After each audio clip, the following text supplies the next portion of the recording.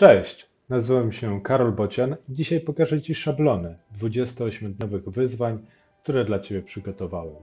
Zobacz, na kolejnych stronach znajdziesz szablon rejestr radzenia sobie z trudnościami, wypełniony szablon dla 28-dniowego wyzwania, abyś widział jak to wygląda. Jeszcze raz sobie przypomnij. Pusty szablon dla 28-dniowego wyzwania i tych kartek jest tutaj wiele, więc możesz wypełnić wiele takich wyzwań, podjąć wiele takich wyzwań. Następnie jest wypełniony szablon dla równoległego 28-dniowego wyzwania, a potem znowu wiele takich pustych kartek, pustych szablonów dla równoległych 28-dniowych wyzwań. Zobaczmy. Tutaj masz rejestr z trudnościami dla wszystkich wyzwań. Wypisz po prostu trudność, przeciwdziałanie, które na to podejmiesz, a później działanie. E, następnie masz tutaj przykład wypełnionego 28-dniowego wyzwania.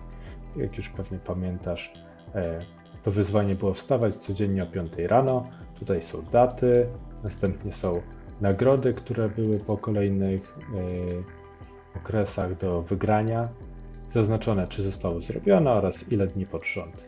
I taka krótka instrukcja, która może Ci pomóc z tym, jak sobie radzić, jak sprawić, żeby to wyzwanie było podjęte z sukcesem, jak zwiększyć właśnie prawdopodobieństwo odniesienia sukcesu.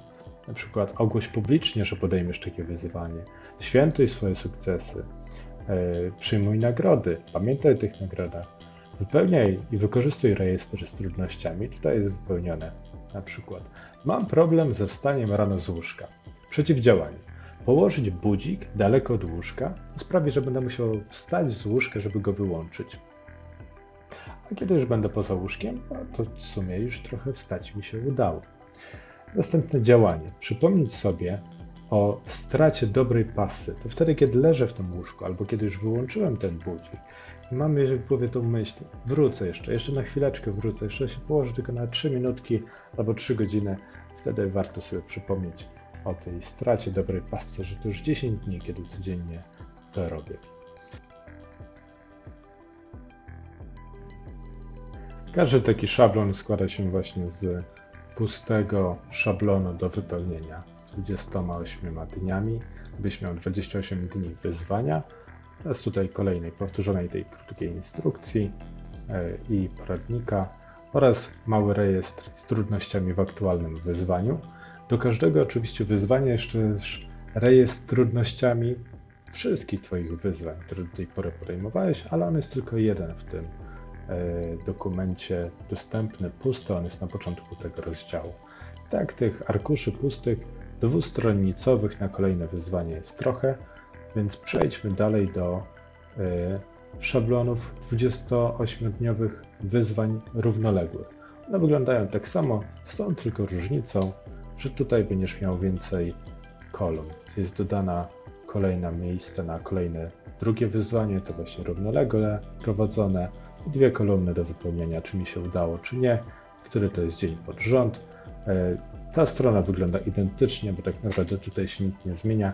Może jedynie trudności będziesz miał dwa razy więcej, bo to jednak są dwa wyzwania.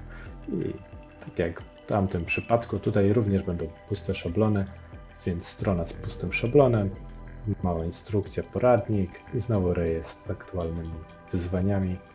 Ten rejestr dla wszystkich wyzwań to dalej ten sam rejestr, żebyś budował swoje wyzwanie na swoim doświadczeniu osobistym. Tak właśnie to wygląda. Tutaj tych stron trochę jest, więc bym już miał dużo roboty, żeby to wypełnić. No, przecież dwie takie strony, żeby wypełnić trzeba 28 dni. Jeśli jest to ich 10, to kilka lat ciężkiej pracy. To tyle z mojej strony na dzisiaj. Powodzenia. Hej, hej.